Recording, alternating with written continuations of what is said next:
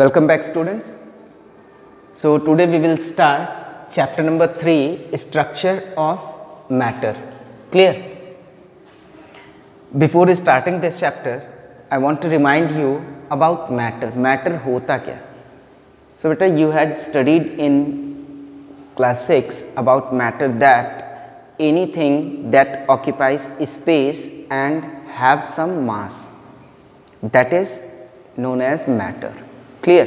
Means कोई भी ऐसा सब्सटेंस जिसका कुछ मास हो क्लियर एंड दैट ऑक्यूपाइज या वो कुछ स्पेस ऑक्यूपाई करे तो उसे हम लोग मैटर बोलते हैं.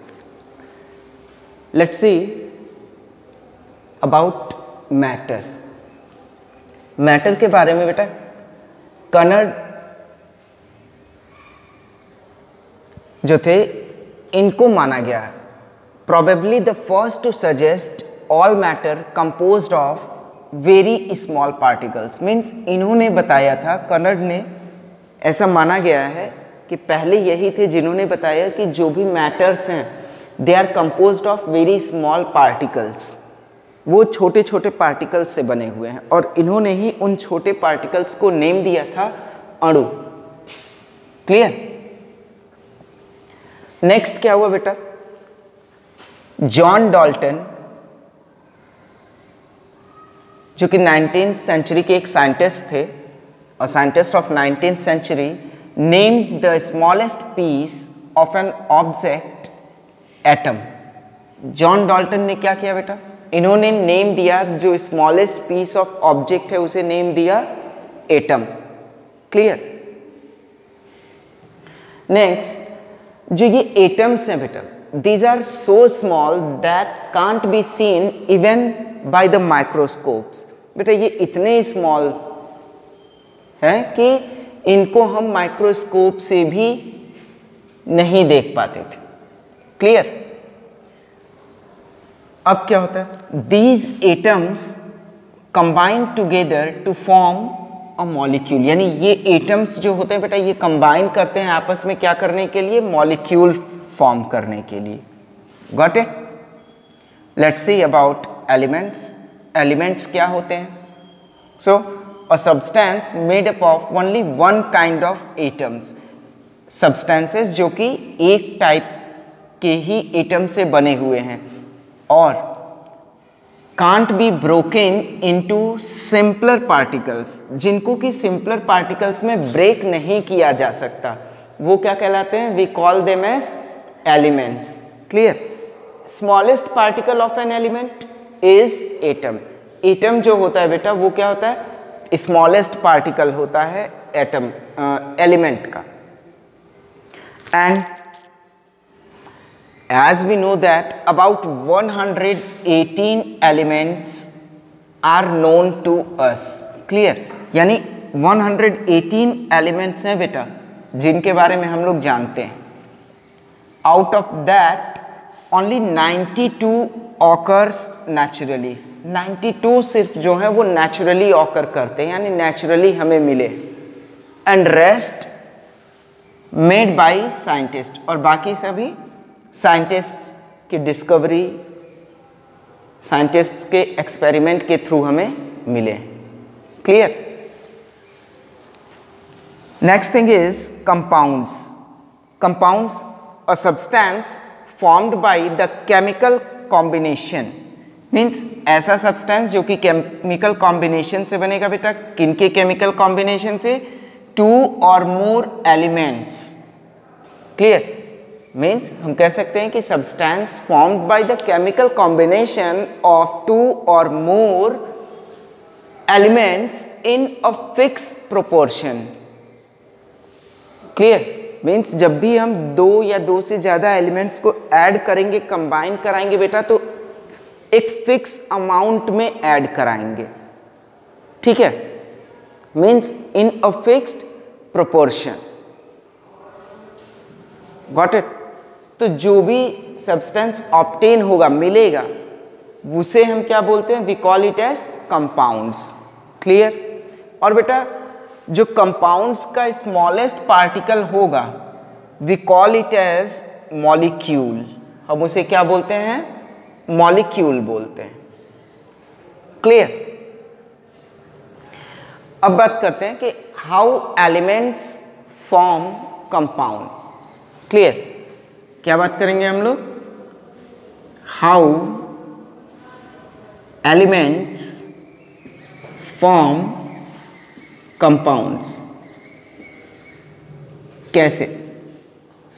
सो so, कैसे बनता है? तो उसके बारे में बेटा सिंपली अगर हम सिंपल टर्म्स में समझे तो जिस तरह से हमारे पास अल्फ़ाबेट्स हैं ठीक है? 26 अल्फ़ाबेट्स होते हैं A to Z and by combination of different letters we are able to make million and trillion of words. हम बनाते हैं ना, और बने हुए भी हैं, जिनका यूज़ हम लोग कर रहे हैं। बहुत सारे शब्द बने हुए हैं, बहुत सारे वर्ड्स बने हुए हैं। सिमिलरली जो हमारे पास 118 एलिमेंट्स हैं बेटा, इनके कॉम्बिनेशन से भी हम क्या करते हैं? बहुत सारे सब्सटेंसेस यूजफुल सब्सटेंसेस बनाते हैं। यूजफुल कंपाउंड्स बनाते हैं। क्लियर फॉर एग्ज़ाम्पल बात करें हम वाटर की। तो क्या है बेटा? Hydrogen plus oxygen it gives us water मिलता है? सो so, बेटा आप देखिए हाइड्रोजन क्या है? गैस है। ऑक्सीजन क्या है? गैस है। These two gases combine together to form water that is liquid clear similarly अगर हम बात करें तो ऐसा भी होता है कि दो पॉइजनस केमिकल्स मिल करके हमारे यूज़ की एक चीज़ देते हैं। ठीक है? Means two poisonous elements combine together to give us a useful compound, like बात करते हैं सोडियम की। सोडियम प्लस क्लोरीन सेपरेटली देखा जाए बेटा तो ये दोनों हमारे लिए क्या है? हार्मफुल है। ठीक है? Chemically but when these two combine, they give us sodium chloride that is a salt clear okay so let's come to the next point that is occurrence occurrence means बेटा ये पाई कैसे जाते हैं तो जो मोस्टली एलिमेंट्स होते हैं बेटा इनके अंदर एक टेंडेंसी होती है टू कंबाइन क्लियर इनके अंदर क्या होती है? एक टेंडेंसी होती है टू कंबाइन टुगेदर एक दूसरे के साथ कंबाइन करने की तो कंबाइन करने के बाद ये क्या करते हैं? They form a new substance clear अब, जब इनके अंदर कंबाइनिंग टेंडेंसी होती है, उसी वजह से बेटा ये जो होते हैं, ये फ्री स्टेट में नेचर में नहीं पाए जाते. क्लियर और कैसे पाए जाते हैं? They always found in a combined form हमेशा एक कंबाइंड फॉर्म में पाए जाते हैं लाइक कंपाउंड्स ठीक है? एग्ज़ाम्पल की बात करें बेटा तो हम ये देख सकते हैं। ठीक है?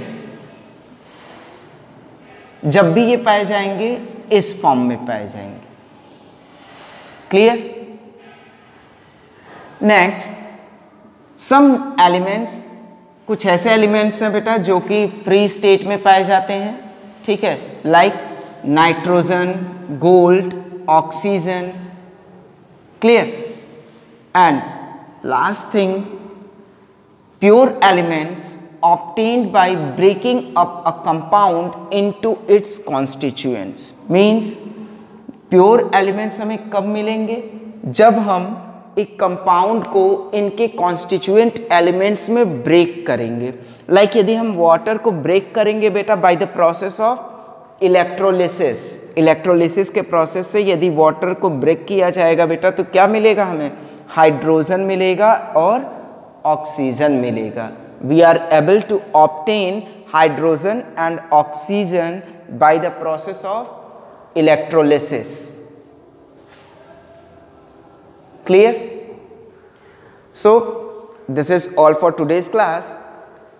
And in our next class we will discuss something more about this chapter structure of matter. So thank you and have a nice day